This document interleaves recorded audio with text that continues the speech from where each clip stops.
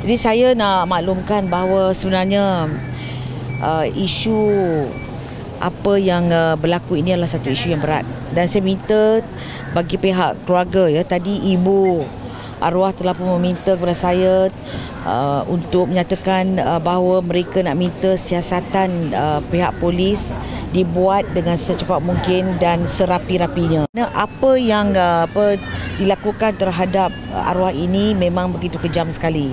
Jadi bagi pihak keluarga ibunya menyatakan kepada saya tadi Pertama, beliau mahu keadilan untuk anak beliau. Kedua, beliau bimbang kerana takut kalau penjenayah ini dibiar if he is on the loose mungkin akan apa beliau mengerogol anak-anak dan kanak-kanak yang lain. Arwah ni baru umur 11 tahun. Saya tak tahu macam mana manusia atau binatang yang boleh melakukan jenayah seperti ini. Kita tak boleh biar penjenayah ini bebas begitu saja.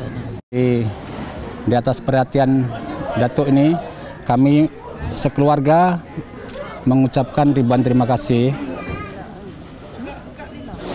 di atas perhatiannya. Begitu juga daripada pihak kerajaan yang diwakili oleh Datuk Sarizat sendiri.